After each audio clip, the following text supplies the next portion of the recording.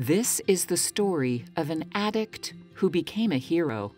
His name is Bob Farster. Um, I did cocaine for about 22 years, started uh, with marijuana. It progressed into destroying my life. I lost a leg. I've had two heart attacks, two strokes, all of it drug induced. Bob finally got fed up, fed up with poor choices. On his ninth attempt at recovery, he vowed that if he could stay clean and sober, he would help others. And that is just what he did. And that is where the hero part comes in. Bob embarked on a journey dedicated to helping others stay free of drugs, especially kids. Why do you think it is that, you know, young adults such as yourself are using drugs and alcohol? Could you help me with that? Along his journey to hero, Bob joined MATFORCE. I first met Bob Farster at one of MATFORCE's first town halls, which was here in Prescott. And right before we progressed to the actual work we were going to do, there was a voice in the audience saying, Counselor Polk, Counselor Polk. So I acknowledged the voice, and it was a man in a wheelchair who says, in a very confrontational voice, Counselor Polk, I mean no disrespect, but you don't know what you're talking about. You don't know what addiction is. And so after the meeting, I went up to him and I said, Sir, you're right. And what should I do about that? And Bob immediately said, You need to come to an AA meeting with me. So I did. Bob spoke in schools. He created video interviews with addicts. He spoke from his wheelchair and from his heart. He would tell audiences that while on a lengthy cocaine binge, he failed to take care of a sore on his foot, which led to gangrene and loss of his leg.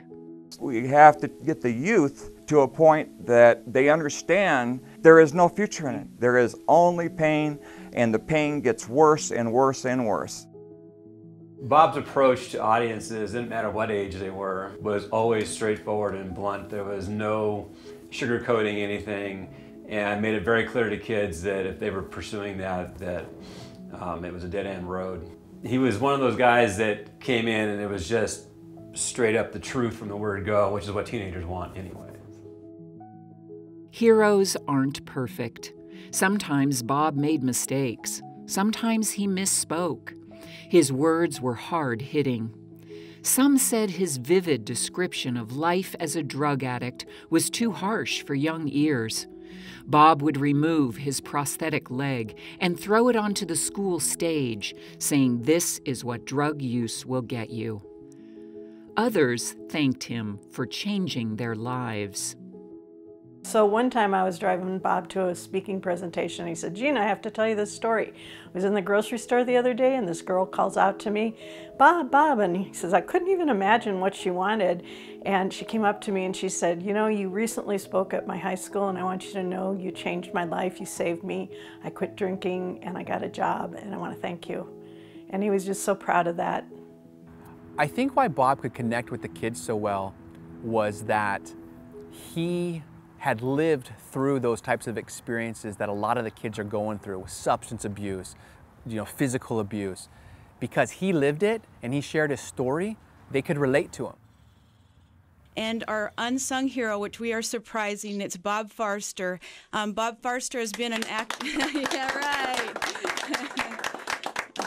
He has been an active member of our Speakers Bureau since 2007, and amazingly, he has done over 458 presentations to over 10,000, mainly students in Yavapai County. And his impact has made an amazing, amazing um, difference in the lives of thousands of children in our county. So we're just so proud to um, award him today with the Unsung Hero Award.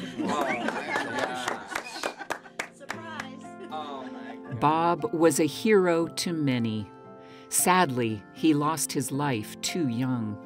Bob was killed, struck, as he was crossing the street in his wheelchair. Bob's message continues. Today, he would challenge you by asking If you are struggling with addiction, are you willing to be the hero of your own story? He would say, If I had the strength to overcome my alcohol and drug addiction, I believe you can too.